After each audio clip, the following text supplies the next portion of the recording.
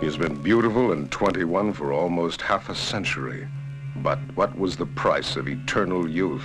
I would give anything to stay like that. He's fallen in love with your painting. Or with his own beauty, I don't think he realized before. I would give my soul to stay like that.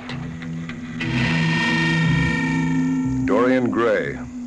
To keep alive his mortal youth, he sold his immortal soul. And with it, he abandoned forever the innocence of young love. The subject is unique, an extraordinary combination of pure beauty and male virility.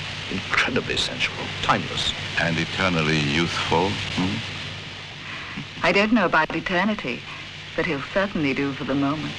Look, you little fool. She's offering me a deal for half a million dollars. Maybe I should tell her.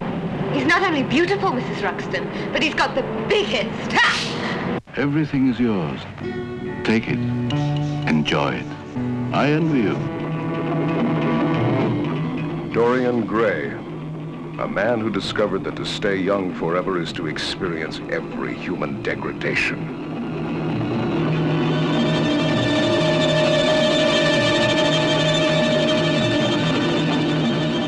The portrait reflected his decay.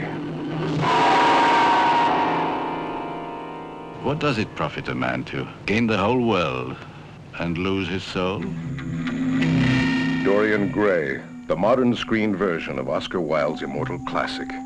Starring Helmut Berger, acclaimed for his performance in The Damned. I'll never change. He may, but not me. Herbert Lom, the cynic who lived only for pleasure. What is vice anyway? Simply pleasure without shame. Richard Todd, the painter. That's not my work. See what we've created together. A desperate journey into the depths of despair and damnation. There is no escape, Dorian. It's your fault. You were that bloody stinking portrait. See both sides of Dorian Gray. And thank God you're only young once.